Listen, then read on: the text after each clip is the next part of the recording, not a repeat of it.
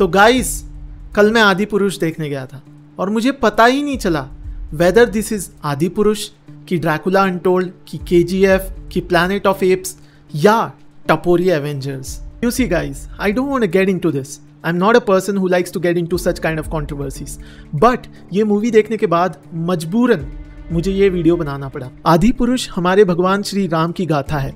इसे लिखा ही गया था ताकि लोग इसे युगो युगांतर तक याद रखें। और इससे सीखी हुई सीख को लेके अपनी ज़िंदगी में परिवर्तन लाए। It was the greatest love story ever told एक ऐसा अद्भुत प्रेम कहानी, जिसमें एक साधारण सा व्यक्ति हज़ारों मील जाता है, जिसके पास ना कोई सेना, ना कोई संपत्ति, अगर है तो सिर्फ़ उसका दृढ़ निश्चय और मनोबल। एक समुंदर पार कर दुनिया के सबसे शक्तिशाली व्यक्ति से युद्ध कर जाता है, जिसमें अंत में बुराई पे अच्छाई की जीत होती है। काफ़ी सारे लोग बड़े ही एक्सपेक्टेशंस के साथ ये मूवी देखने गए थे।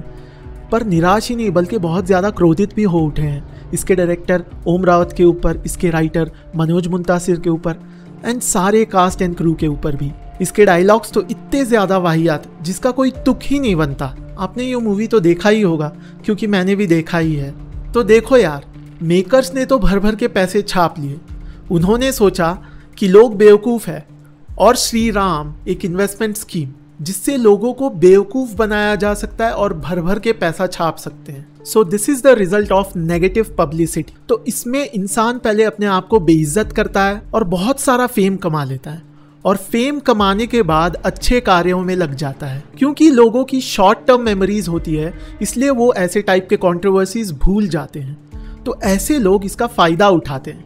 वो पहले कॉन्ट्रोवर्सीज में आते हैं, वो फ़ेमस होते हैं और पैसा कमाते हैं और उसके बाद अच्छाई का नकाब लगा लेते हैं। पहले ये नेता लोग करते थे अब ये सिनेमा वाले भी कर रहे हैं। यू you नो know, हम सब लोगों को लगता है कि ये एक प्रैटफॉल इफ़ेक्ट है पर ये शायद इससे भी गहरा मार्केटिंग स्ट्रैटेजी है टू प्रमोट आदि पुरुष। तो गाइज़ अब ये प्रैटफॉल इफ़ेक्ट है क्या?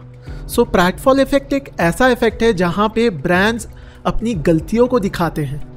उसको नेगेटिवली प्रपोर्ट करने के बाद अपनी गलतियों को मानते हैं ताकि उसे प्रमोशन मिल पाए। इसके ऊपर कोई और दिन बातें करेंगे कि ये प्लेटफॉल इफ़ेक्ट काम कैसे करता है और लोग इसे मार्केटिंग स्ट्रैटेजी में कैसे यूज़ करते हैं।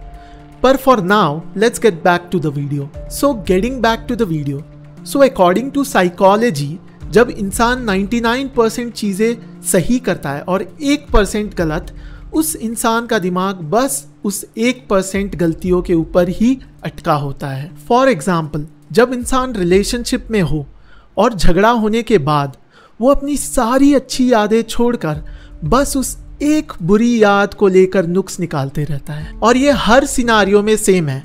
आपके सोशल लाइफ में, आपके निजी ज़िंदगी में, आपके काम में and so on and so forth तो फिर अगर सब कुछ गलत हो and if it's a big blunder mistake तो इंसान आखिर नुक्स निकाले तो निकाले क्या? तो गाइज़ अब तो मुझे लगता है कि घोर कलयुग आ ही गया, क्योंकि ये सारी चीज़ें हमारे पुराणों में, हमारे ग्रंथों में पहले से ही लिखा गया है। ऐसी चीज़ें जैसे कि टेक्नोलॉजी में बहुत बढ़त होगी और बहुत सारे लोग स्पिरिचुअलिटी में आएँगे और घोर कलयुग में साधु के भेष में भगवान का मज़ाक उड़ाया जाएगा। देखो दोस्तों, मुझे और बहुत कुछ कहना है, पर शायद ये वीडियो छोटा पड़ जाएगा।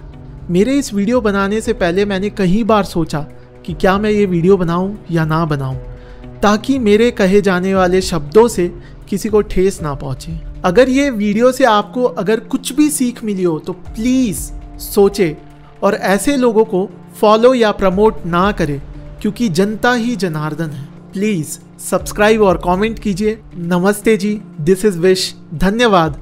और मैं आपको अपने नेक्स्ट वीडियो में मिलता हूँ।